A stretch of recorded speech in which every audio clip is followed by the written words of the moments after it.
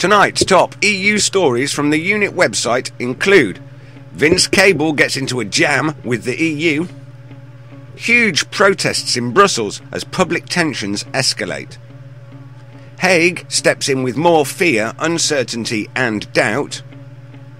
Cameron's immigrant benefits rhetoric is a con.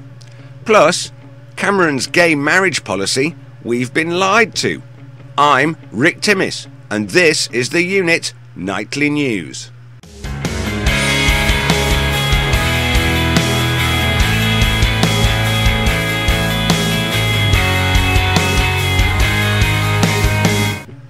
Uh, from our homepage. This will please those of us with a keen interest in the collapsing Eurozone economies and continued austerity pressures on UK citizens. Vince Cable, the business secretary, has decided that now is the time to take up arms and fight the important battles with Brussels. Vince has highlighted the critical issues affecting the UK export markets and he is taking it to the kleptocrats in the Commission. In this article, Vince explains how he is protecting the term fruit jam which is clearly a cornerstone of the British economy. Jam manufacturers are under threat as the Commission's elves scribe out new legislation that would take away the right of jam makers to call their product jam if it contains less than 60% sugar. Oh golly. Protests are escalating all over Europe. In this report, we cover the demonstration outside the EU Parliament in Brussels, where over 10,000 workers gathered to protest outside the EU Leaders Summit.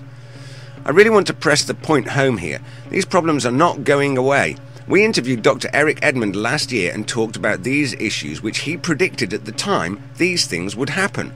He predicted more besides, and I'm saddened to see that the kleptocrats have indeed managed to enact a wholesale bank robbery in Cyprus.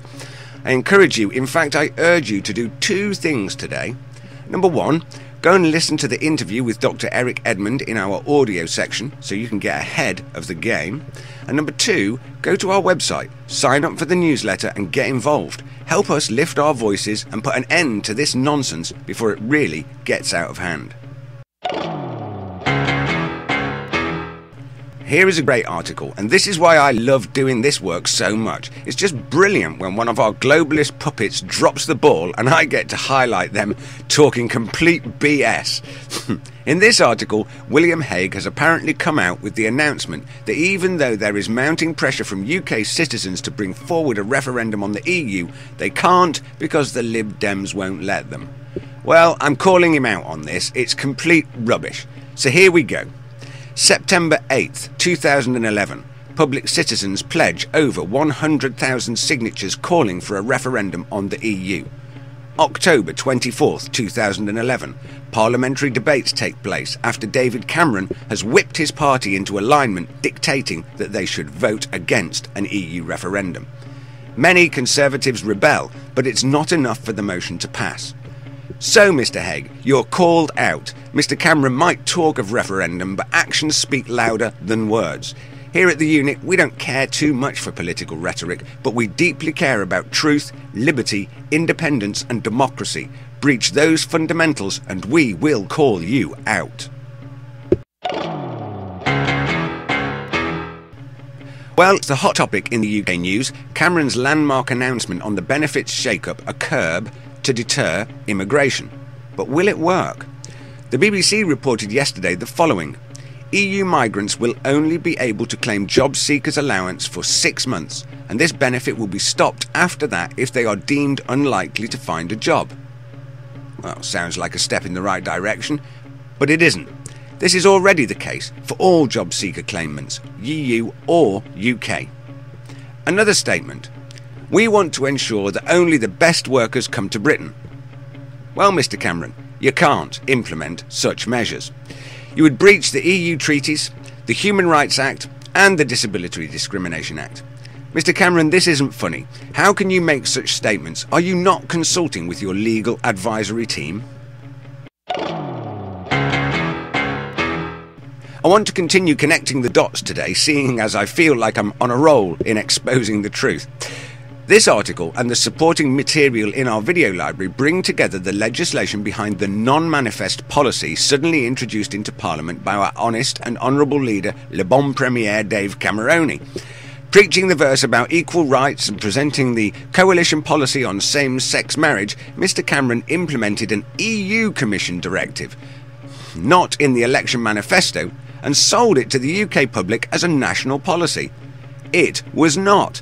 Here is the link to the full article that Andrew investigated, with links back to the original EU programme, the Stockholm Programme, which mandates this policy as a federal EU law. Today in our video library, as supporting evidence to demonstrate that Mr. Cameron's policy on gay marriage is not Mr. Cameron's at all, it is in fact the work of Mr. Van Rompuy and Mr. Barroso, as scribed by the Orc Hands of Mordor in the EU Commission. Here we have a recent video of massive street protests in Paris as the French government implemented the exact same EU law on gay marriage, which enraged many, many French citizens. That's all me at the Unit Nightly News. You can get lots more news stories and information on our website, theunit.com. You can get in touch with us there, and we particularly welcome your letters and points of view. You can follow us on Twitter. Our Twitter username is the E Unit. And remember to subscribe to our YouTube channel for all of our regular updates. You can join me and the rest of the team for interactive discussion and debate on Google Plus at any time. Are you looking for a public speaker for your event? Our public speakers are happy to come and discuss Britain's relationship with the EU in your area at no cost. If you would like to add interest and value to your group event, then get in touch with us via the Word section of our website. Finally, join us live in a question time style online show, The Unit Interactive. Broadcast live on our website, theunit.com, and globally via thehangoutshow.com Join our community on Google Plus and you can be part of the wider public vote, united in freedom, liberty and independence. Simply join our community, the unit, on Google Plus. Links to the community page are below. Rick Timmis for the Unit Nightly News. I'll see you soon.